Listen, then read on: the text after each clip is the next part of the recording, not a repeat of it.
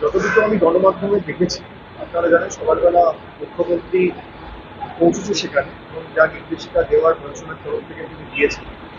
তবে যে ঘটনাটা ঘটেছে অত্যন্ত দুঃখজনক, দুর্ভাগ্যজনক এবং বেদনাদায়ক।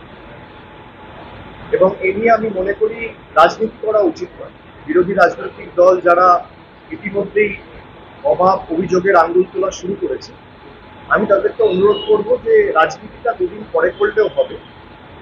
এখন যারা আটকে রয়েছে, বিশেষ করে উদ্ধার কার্যে দলমত, জাতি, বর্গ, বর্ণ নির্বিশেষে আমরা সকলে মিলে যদি সমাজের স্বার্থে এগিয়ে আসি, এবং মানুষের পাশে এই সময়টা দাঁড়াই, তার কারণ মানুষের প্রাণের থেকে বেশি গুরুত্বপূর্ণ বা বেশি ইম্পর্টেন্ট আমাদের এই সমাজে আর কিছু নয়। আমি তাই অনুরোধ করব যে রাজনীতি আটচল্লিশ ঘণ্টা পরেও হবে। দুদিন পরে করলেও হবে।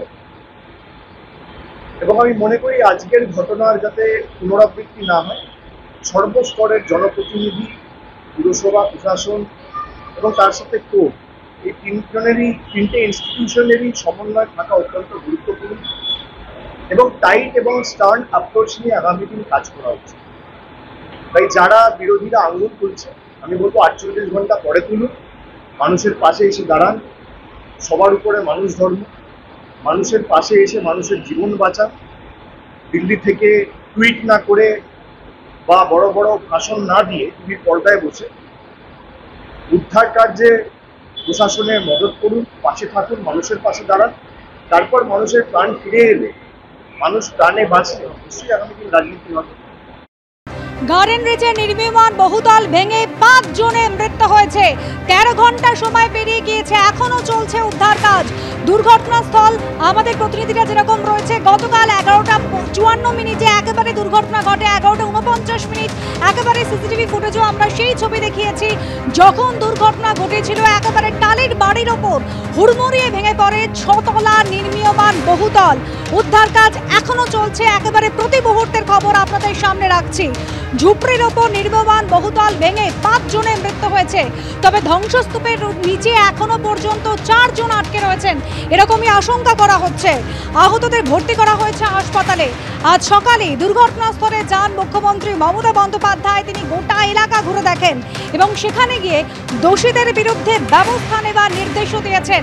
মুখ্যমন্ত্রী মমতা বন্দ্যোপাধ্যায়, গার্ডেন রিচে ভেঙে পড়া বহুতলটি যে বেআইনি ছিল, সেটা স্বীকার করেছেন স্বয়ং মুখ্যমন্ত্রী মমতা বন্দ্যোপাধ্যায়।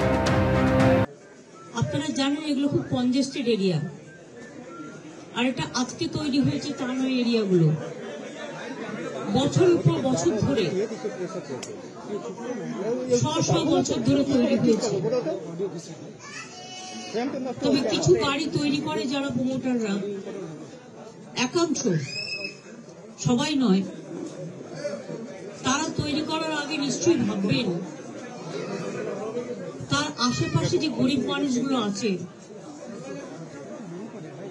তাদের যাতে কোনো ক্ষতি না হয়। এবং একটা বাড়ি তৈরি করতে গেলে শুধু আমি একটা ছতলা বাড়ি তৈরি করে দিলাম, এটা আমার কাজ নয়।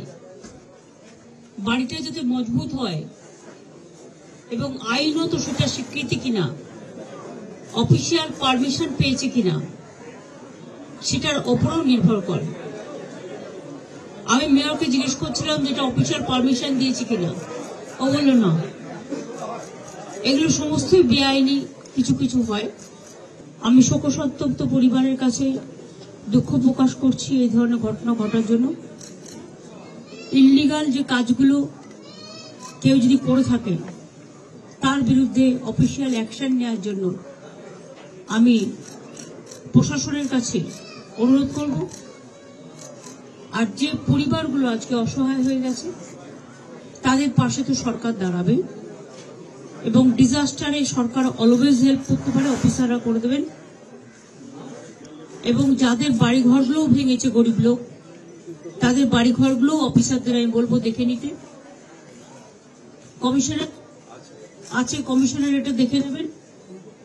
তাদের পরিবারগুলো, প্লাস যারা ইনজিওর রয়েছে তাদের পরিবারগুলো, প্লাস ঘর বাড়িগুলো প্লাস বেআইনি যে কাজের জন্য এই ঘটনা ঘটেছে, অ্যাকশন নেওয়ার জন্য।